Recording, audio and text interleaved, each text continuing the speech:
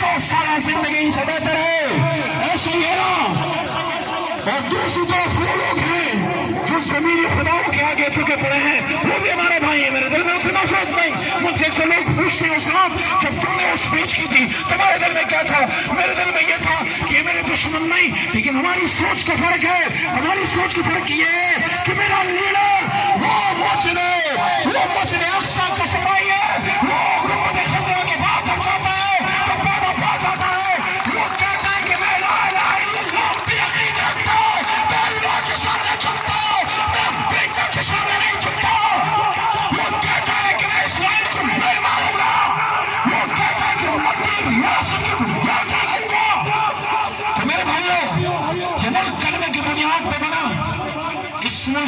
ملک کو آج اٹھان نہیں دی گئی۔ جس بنیاد پہ یہ ملک بنا تھا، اس بنیاد پہ اس کو نہیں چلنے دیا گیا۔ قائد سے پوچھا گیا، مجھے یہ اعزاز ہے یہ میرے لیے فخر ہے، میں اللہ کا شکر ادا کرتا ہوں کہ اس خاندان سے تعلق ہے جو پاکستان بنانے والا ہے۔ میرا دادا Pir Muhammad Khan all India Muslim League کا ورکر علی گڑھ یونیورسٹی کا طالب علم وکیل۔ وہ ایک بچے نوجوان کی طرح ساتھ رہے۔ قائد اعظم کے ہم پاکستان بنانے والے خاندان ہیں۔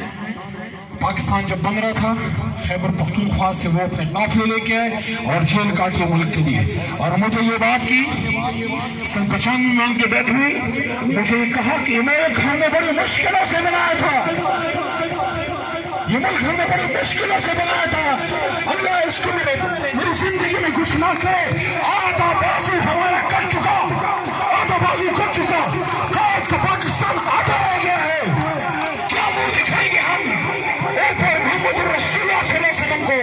کو اور کو کیا منہ دکھائیں گے؟ کہ آدھا پاکستان کدھر چلا گیا؟ ہماری انہی حرکتوں کی وجہ سے چلا گیا۔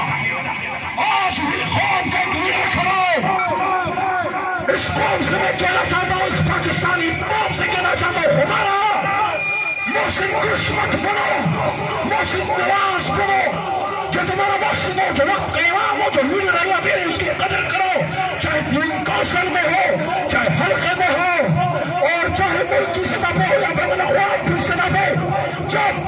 جب فرانس میں حرمت پہ حملہ